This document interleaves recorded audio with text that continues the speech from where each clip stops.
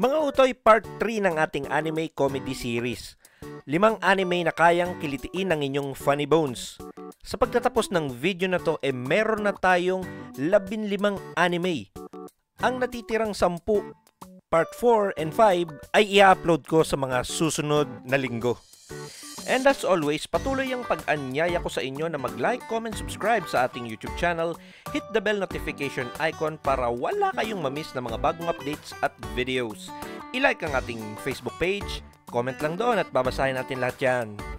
So without further ado, let's get started. Ang unang anime para sa video na to ay Nichijou. Meron itong 26 episodes. Tungkol ito sa tatlong high school girls na sina Naganohara Miyo, Minakami Mai, at Ayoy Yuko. Ang tatlong yan ay konektado sa istorya ng batang genius na si Shinonome Hakase, ang robot niya na si Nano, at ang pusang nagsasalita na si Sakamoto. Makikita natin dito ang araw-araw nilang pamumuhay kasama ang pamayanan na kanilang ginagalawan. Mga utoy, isa itong slice of life slapstick comedy. Nakakatawa yung mga sobrang exaggerated na mga pangyayari sa yung mga overreactions nila na hindi na makatotohanan. Nakaka-mind blown talaga siya mga utoy. Saka sana huwag kayong ma-intimidate sa drawing na parang pangit. Kasi para sa akin, Nichijou ang malinaw na example ng salitang slapstick. Saka yung mga friends ko sa anime community na late nang nanood ng Nichijou, ang reaction nila palagi, bakit ngayon ko lang to pinanood? Pero suggestion ko sa inyo, 7 episodes per day lang para masulit nyo ang anime na to. Next anime is Sakamoto Desga. Meron itong 13 episodes at isang special. Tungkol ito kay Sakamoto, isang gwapo, cool at napakaswabing high school student. Mga utoy, dito mapapanood natin kung paano malulusutan ni Sakamoto ang mga bagay-bagay. Kahit anong patibong ay hindi ubra. Napakagaling ni Sakamoto. Kahit ano magagawa niya ng paraan. Kahit imposible, walang problema kay Sakamoto. Kaya lahat ng babae, bilib sa kanya. Ultimo matrona, lahat bibigay. Pati mga lalaki na babakla na sa kanya eh. At ang pinaka nakakatawa dito ay yung ginagawa ng mga taong gusto siyang pabagsakin. Na sa bandang huli ay aani rin siya ng respeto sa mga to. Kaya kayong mga manonood nito, matatawa kayo sa mga out of this world na mga kakayahan ni Sakamoto. Next anime, Binbo Gamiga. Meron itong 13 episodes. Kwento naman ito ni Ichiko Sakura, isang high school girl na nabiyayaan ng sobra-sobrang swerte. Nasa kanya na lahat, kagandahan, karunungan, at kayamanan. Kaso sa sobrang swerte niya, eh hindi niya na namamalayan na naaagaw niya ang swerte ng ibang tao na pwedeng magresulta ng mga sakuna at mga kamatayan dito ngayon papasok si Momiji Bimboda, ang diyosa ng kahirapan.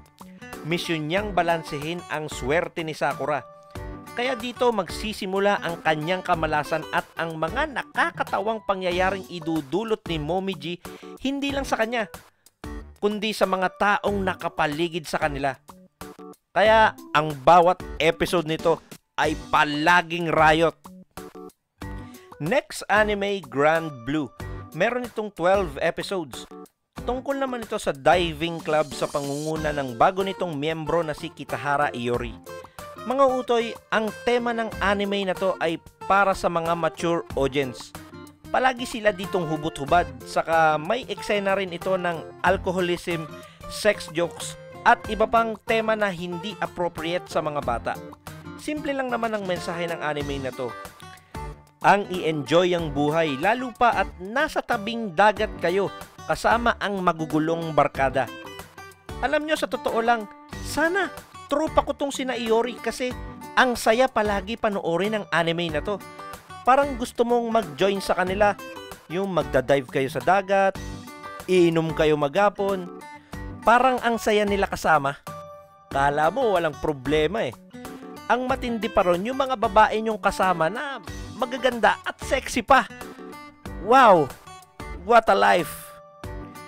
At finally, ang huling anime natin para sa part 3 ng ating comedy series, Sket Dance.